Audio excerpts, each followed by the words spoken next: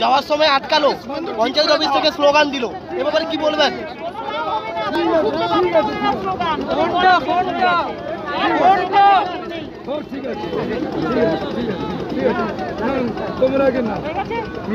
চারিদিকে বিজেপির গোষ্ঠী দেখা যাচ্ছে এ বিষয়ে কি বলবেন? কোনো গোষ্ঠীকন্দল নেই।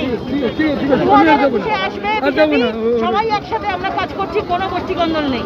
আচ্ছা রাজ্য রাজনীতিতে শুভেন্দু অধিকারী অন্যতম একটা উনি তৃণমূল থেকে বিজেপিতে আছেন এ ব্যাপারে কি বলবেন? আচ্ছা রাজনীতিতে সবই সম্ভব যদি উনি যান তাহলে সেক্ষেত্রে আপনার প্রতিক্রিয়া কি এই থাকবে আমি কিছু বলতে পারব না। সবাইকে বলব ভারতীয় জনতা পার্টিতে স্বাগত। সরকার আনতে গেলে সবাইকে একসাথে কাজ করতে হবে। তাহলে কি পুরনো কর্মীরা পরপর সবাই মিলে একসাথে কাজ করতে হবে কারণ এই দুর্নীতি তৃণমূল সরকারকে উপড়ে ফেলার জন্য সবাইকে একসাথে নিয়ে কাজ করতে হবে। নতুন পুরনো সবাই একসাথে কাজ দিদি রাহুল সিনহা তো ক্ষোভ প্রকাশ করেছেন। কোনো ক্ষোভ নেই সবাই আমরা একসাথেই আছি। রাজনীতি করছে তৃণমূল এই জন্যই ভিতরে দ্বন্দ্ব সৃষ্টি করছে। আচ্ছা বাম থেকে যে দলে দলে রামে যাচ্ছে তার কারণে কি যারা প্রকৃত রাম ভক্ত তারা কি পিছন পড়ে যাচ্ছে? কেউ পিছনে পড়বে এই। কারণেই গোষ্ঠী কন্দল সবাই একসাথে আমরা আছি। কোনো আগে কিছু হবে না।